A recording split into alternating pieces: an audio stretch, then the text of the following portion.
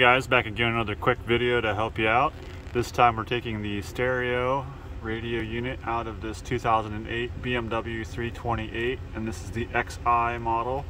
Uh, I'm sure it's similar for the other levels but it's really easy and the only tools I used was a flat tip screwdriver and I am in the boneyard so it's not as bad but if you're doing this at home, you might want to wrap this with some electrical tape on the tip just to keep your dash from getting marred up, or you can use a panel removal tool, that works too.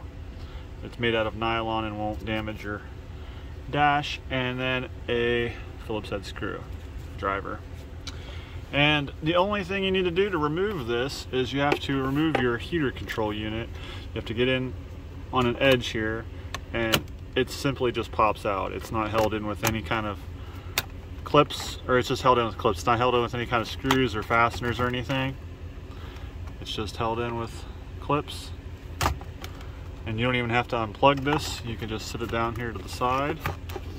And then you'll have a Phillips head screw right here and another one right here. I'd be very careful removing those as you don't want to drop them down in here and then you've got more problems. But when you've got those two screws removed and safely put somewhere you can find them, then you can come in here on the edge or even from the bottom. I would use the edge. And again, this is the importance of not marring up your dash. And get in behind it and pry on it just a little from both sides and your whole radio unit will slide right out. And it should be noted here that you do not have very much slack behind to pull the plug off.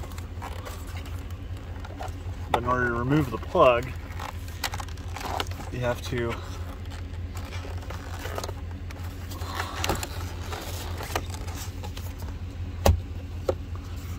get underneath here turn that just a little to pop this loose and then you just push it away and the plug will come out. And then with your radio antenna, you've got just the slightest little, that little mark right there. Just press on that. And it's really hard to do with one hand.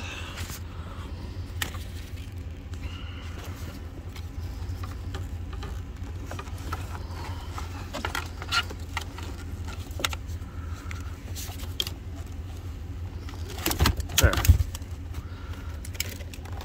That being said, that's all there is to removing your BMW radio.